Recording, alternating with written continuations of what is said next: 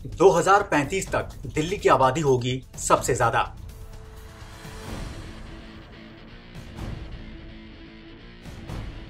मुंबई और कोलकाता की कुल आबादी से भी ज़्यादा।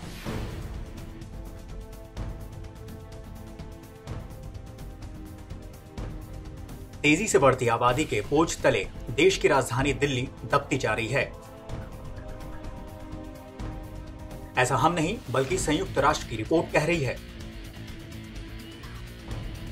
संयुक्त राष्ट्र की इस रिपोर्ट के मुताबिक साल 2035 तक दिल्ली की आबादी चार दशमलव तीन करोड़ तक पहुँच चुकी होगी।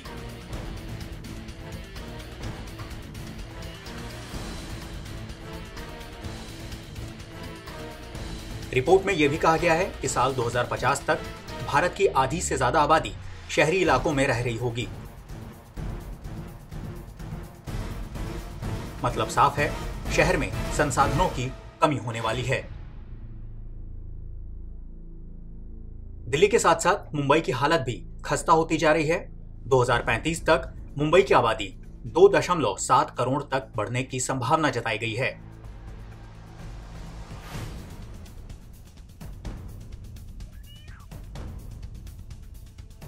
अगले 20 साल में मुंबई की आबादी में इकतालीस दशमलव छह फ़ीसदी से ज़्यादा की बढ़ोतरी हो सकती है।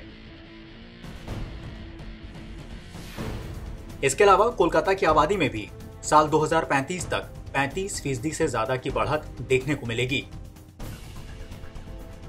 और ये दो करोड़ के ऊपर पहुँच चुकी होगी।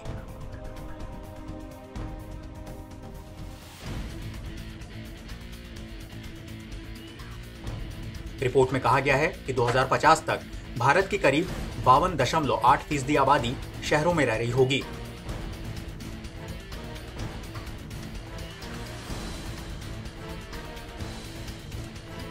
जबकि 2015 में बत्तीस दशमलव आठ फ़ीसदी आबादी देश के शहरी इलाकों में रह रही थी। वीडियो डेस्क, नई दिल्ली।